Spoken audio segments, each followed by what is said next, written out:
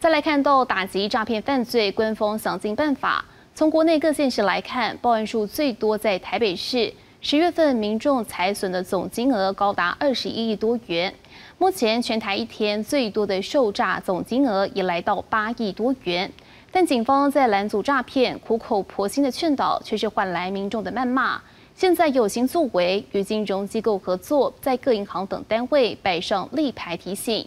今天有被害人现身说明，还原受骗的过程。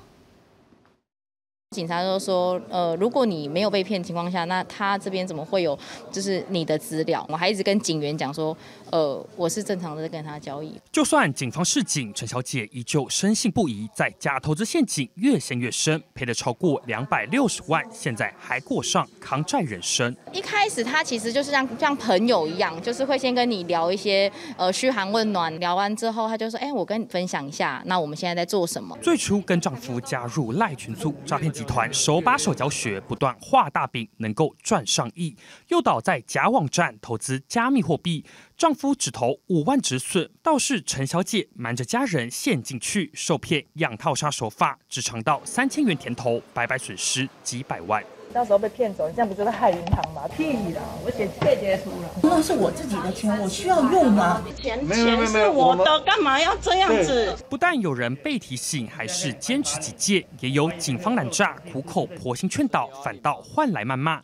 但诈骗案件节节攀升，在打诈仪表板上路后，最高的被骗总金额一天更有八亿多元。受骗最多诈骗案的台北市，光是十月统计，民众受诈财损来到二十。一亿多元。我们跟银行有合作，我们有制作了这些打造银保板，放在银行的。金融机构面对诈骗泛滥，北市警方再出招，与辖内金融机构合作，摆上立牌提醒，上头记载各类诈欺数据以及真实受诈案例，让民众汇款前能够多想想。目前初步摆设一百多个，将来目标到一千多个。呃，我觉得效益不大，其实老人家看到这东西也不不会一直去关注，我不会去看那个。